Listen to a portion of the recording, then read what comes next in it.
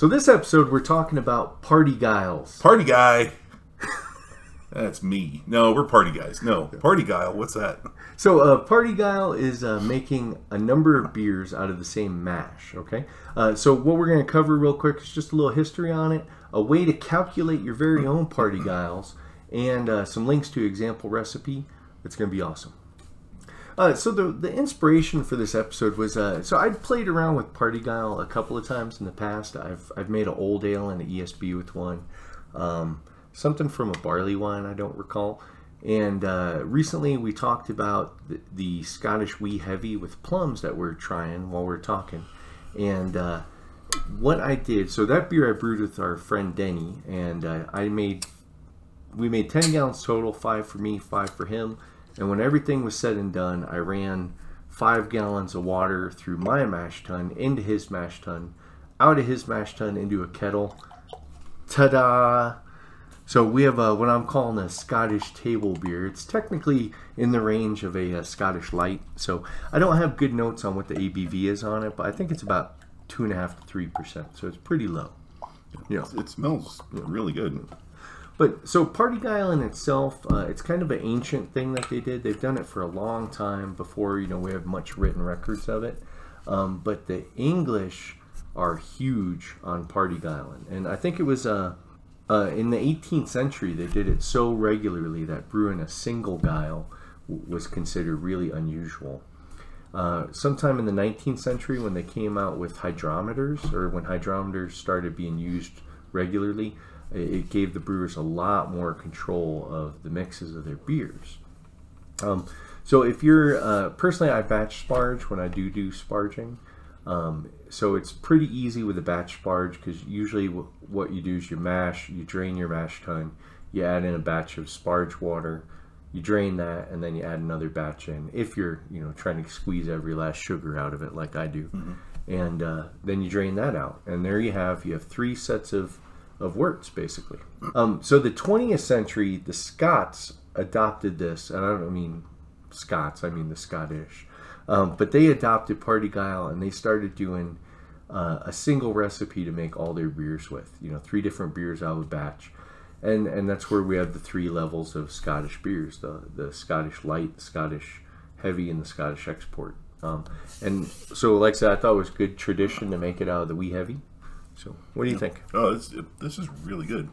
So normally, whenever somebody says, "Oh yeah, but like a lower ABV beer," I'm like, "Yeah, okay," but this has great flavor.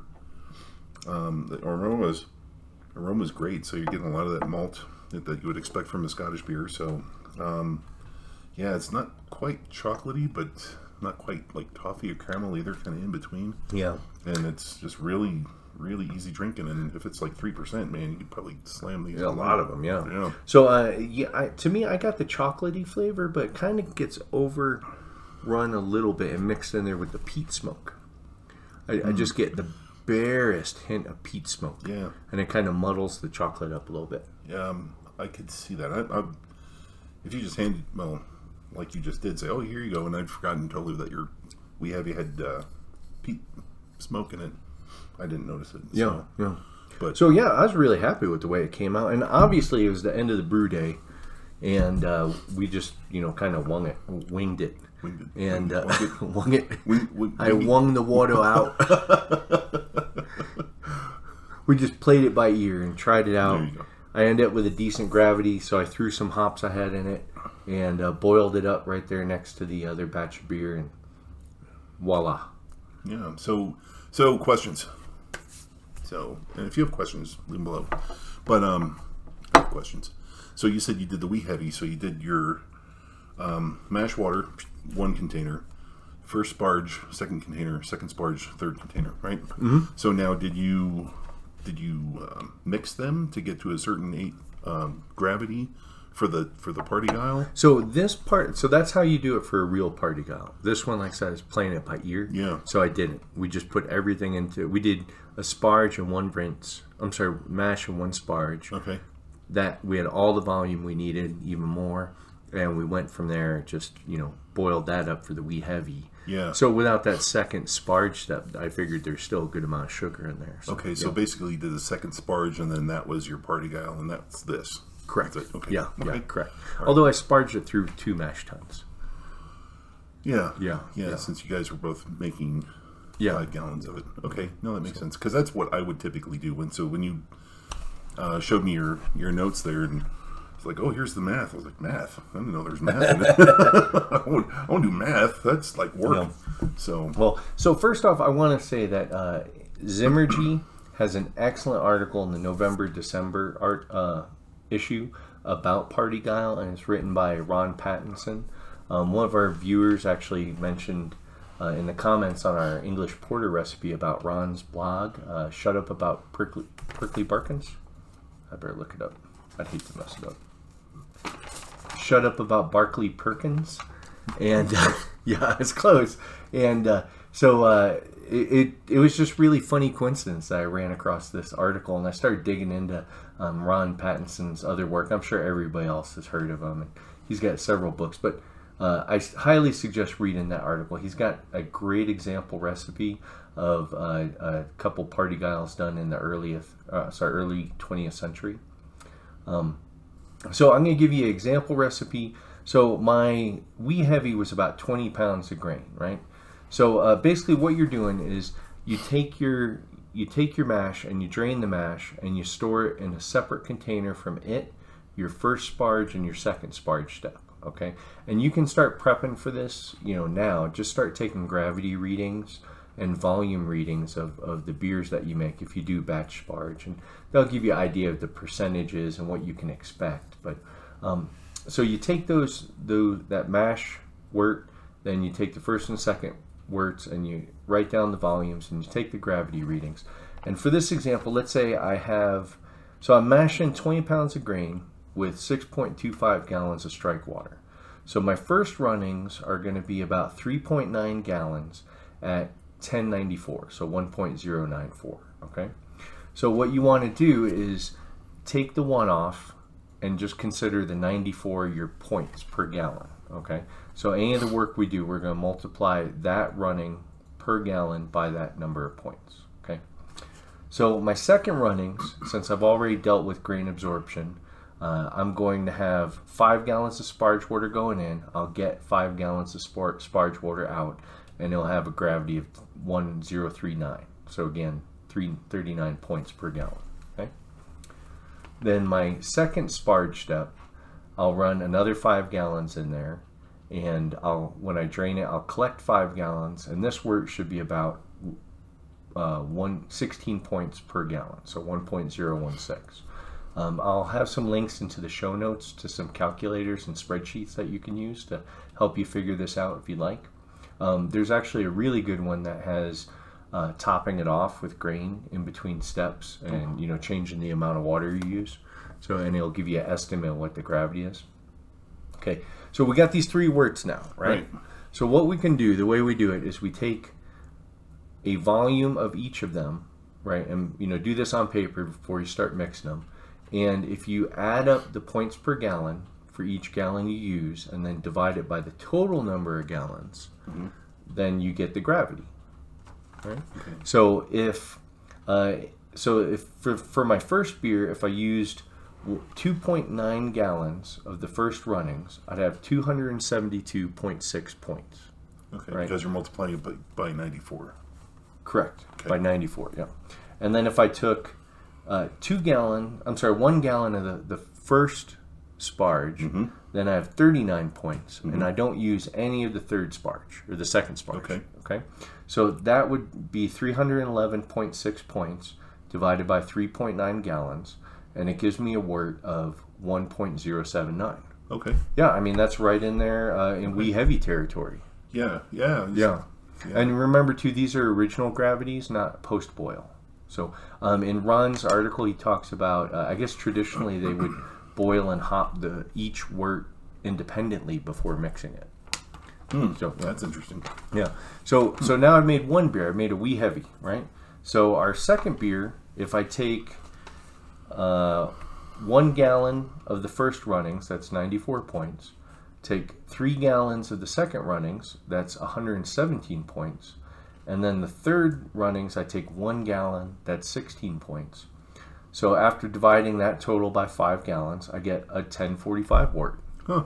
Yeah, so and five gallons of it. So, um, you know, that's right in there, Scottish export. Oh, that's that's actually not bad. When it, I think when you had explained the math to me previously, you know, I was like, yeah, I, Yeah. you're, speaking Greek to me. I had no idea what you're Yeah, once about. you kind of see an example, it's Yeah. easier to wrap your head around. yeah, but using that example, uh, wee heavy with you know Yeah. breaking up, that that makes sense. Yeah. But we're not not done. bad. We still got a whole bunch of wort around. What? Right? So for our third beer, uh, because I know everyone's got three brew kettles at home, right? Yeah. I mean, who doesn't? So Losers, that's who doesn't. So for the third beer, I'm going to use none of the first runnings because I've used them all up by now. I'm going to use one gallon of the second runnings because that's all I've got left. Okay. And then I'm going to use three gallons of the third runnings. So uh, once I total up those points and divide that by four, I get a 1021 wort. So I mean that's that's right there in Scottish Light. Yeah. Okay. Yeah. And again, you get four gallons of it. So I mean that's not bad. Yeah. Yeah. So, yeah. So uh, I mentioned Ron's article, and he actually had a, a different way of formulating it, and, and I haven't quite wrapped my head around it just yet. I've only read it through a couple of times. I'm a little slow sometimes when it comes to math, so um, I'll have to give it another read. But by all means, go check it out. So Yeah. Well, this is that's really interesting. But so now, just to backtrack and to kind of reiterate, you didn't do that with this one. You took the, Correct. the first Yeah, runnings, yeah. Mm-hmm. made that the wee heavy, and then whatever's left over, we have this, which is yeah. which is awesome. Well, and then one other thing you, they can do is, I mean, if you think about it, okay, so you have these worts and you just mixed them up. So, uh, like I said, you can cap, they call it capping the, the mash. But after you do your first runnings, you could put some more grain in there, mash Yeah. it, and then drain it. And then the next time, put another one in there and drain that. And uh, then, depending on how you hop it, you could have a completely different beer. Yeah. And um, uh, who's, who is it? Fuller's actually still does. Um, they still they do parti-gyle as well. Now I guess most of the British breweries that have been around for a long time still do Yeah. parti-gyles, but they do. Uh, they make three beers out of one mash. They make Yep. their ESB, London Pride, and Chiswick Bitter. Yeah. And there's a, there'll be a link to that article. They have a nice interview with the brewer, Yeah. and that's actually where I got the math. I use his math. Oh, okay. Yeah, yeah. But yeah, yeah. No, I think I listened to that that uh, interview, and Yeah. yeah, it was really really good. Yeah. So, and then I didn't realize it until today, but um, they also would take um, inverted sugars and prime in the cask uh, some of the beers, so that would you could make a beer darker.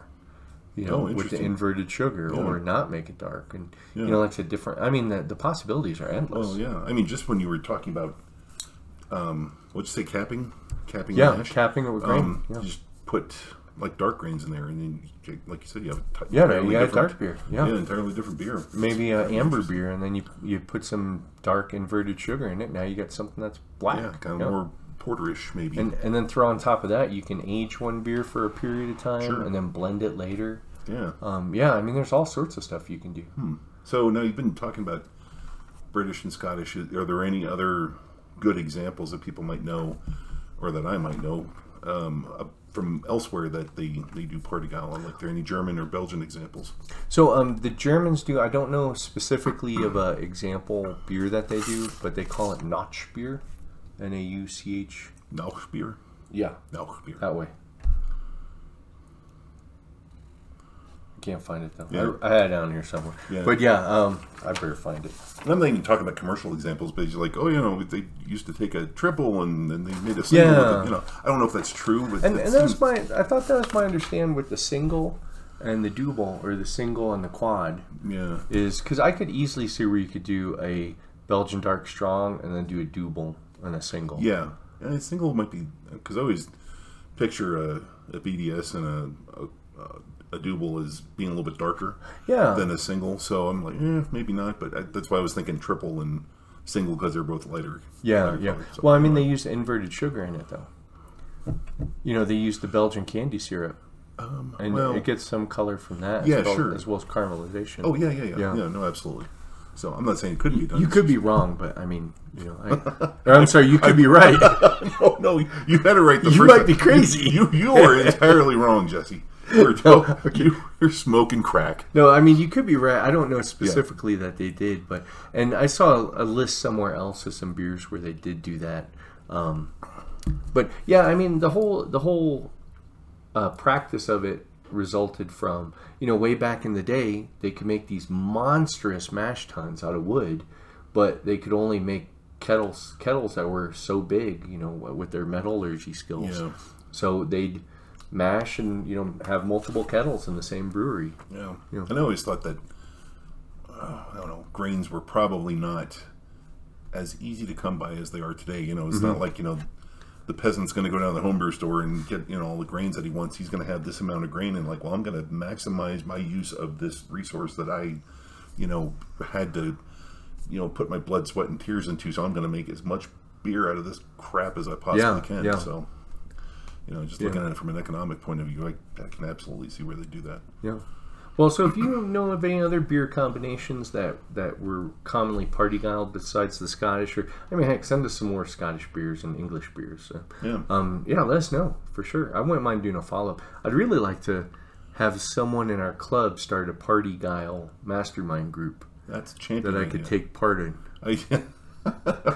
Yeah, no kidding. Well, I was even thinking it was like, oh, that might be a, a good experiment for us later Yeah, on as like we do yeah. a party gal. But And we I could do like a two stepper. You know, make Yeah. two beers. yeah, yeah. But uh, no, I absolutely think that uh, somebody in the club should do it. Yeah. not one of us, but someone else. Yeah. it's not that we're lazy. I mean, No, we just know that. Yeah, we're busy making fine, videos. Yeah, fine, fine videos. production quality. uh, Anyway, so no, that's a great idea. We should bring that up in the next club meeting. So, anything else? Um, I don't think so. Um, yeah, no, yeah. If you have any suggestions, this is a great topic. So let us know your experiences. Yeah, absolutely. Any feedback's welcome. Uh, and if you learn something new uh, or something valuable to you in the show, why don't you buy us a coffee? We got a little link in the. Uh, I'm sorry, a coffee. We got a little link in the show notes. Uh, um, yeah. Otherwise, thanks for thanks for watching. Cheers. Cheers. Thanks for watching our video. Check out our website at coloradobrewtalk.com for more great content. While you're there, be sure to leave us a comment or drop us a line with your thoughts. You can also find us on Facebook and Twitter at CO Brew Talk, or follow the links below. Make sure to like this video and subscribe to our channel so you don't miss any future content. Or episodes, as the case may be. So when you say party gal, I'm going to say party guy. That's me. I, See, you should, should let, let me let it be fresh. I, I was going to, but I, I don't want you to go party guy, blah blah, and me like, you know, ham-fistedly going there. So anyway, red. no, It's not even getting. no, no red whatsoever. Oh yeah, no, but at least not the yellow, No. high green. Yeah, high green. Okay. Your laugh got into the yellow. Okay. Yodelay. Wow, that's so strange. Sample recipe. It's gonna be awesome. Hey, now I could do a little breaker thing that goes like or something weird. Yeah. yeah. So,